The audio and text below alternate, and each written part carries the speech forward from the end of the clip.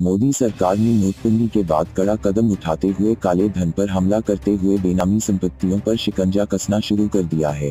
प्रधानमंत्री नरेंद्र मोदी पहले ही इस बारे में इशारा कर चुके हैं।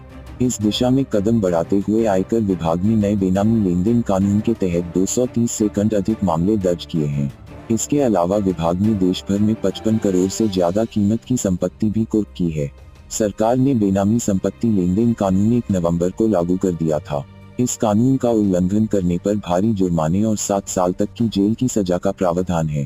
पीटीई के रिपोर्ट के अनुसार आयकर विभाग ने इस साल फरवरी के मध्य तक इस कानून के तहत 235 मामले दर्ज किए हैं।